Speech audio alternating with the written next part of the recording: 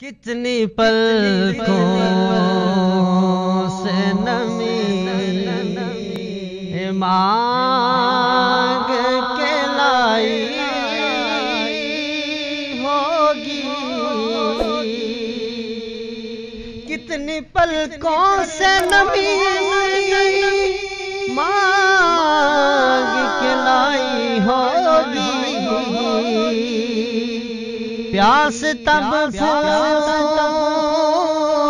की शबनम ने बुझाई होगी।